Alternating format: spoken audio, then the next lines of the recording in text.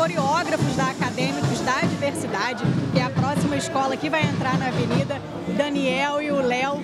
Daniel, fala pra gente é, qual a mensagem que vocês vão passar, né? A comissão de frente, no caso, vai passar. A escola vai tratar sobre a Umbanda. E qual a mensagem que vocês vão passar aí com essa comissão de frente?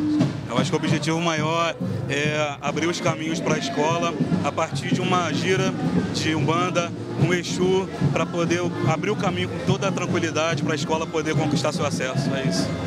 E Léo, como é que foram os preparativos, assim, o um ensaio até o dia de hoje?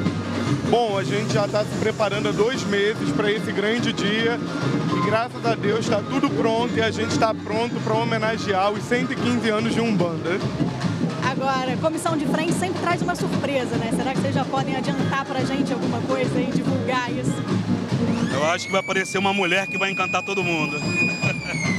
É isso aí, Mônica. Vamos ficar ligada aí que vai aparecer uma surpresa, uma mulher aí para encantar todo mundo na Avenida Acadêmicos da Diversidade, já para entrar aqui.